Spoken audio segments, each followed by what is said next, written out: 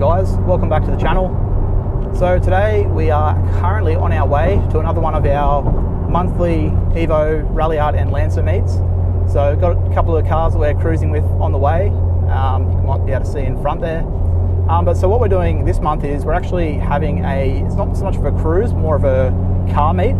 So we're all actually hanging out at the new AK Racing workshop, having a bit of an open house there for us for our December event. So yeah, it should be a really fun night. Not going to be much driving clips um, other than I guess on the way to and on the way home. But yeah, going to be lots of nice cars there I think. So I'll get the gimbal out, try and get some great shots for you guys. Um, and yeah, hopefully it makes for a good video.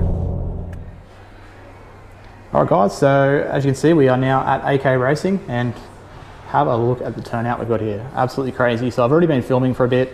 Just thought I'd better come up here and yeah, get a good overview shot of all the cars. We've got like heaps of cars have pulled in and parked inside, as you can see, all the way down. So we're doing a bit of a show and shine tonight as well. So Keith and Alan from AK Racing are going to pick a best car. And um, yeah, so a lot of the cars that are in the show and shine are parked up in here. But yeah, we've got a huge turnout outside as well.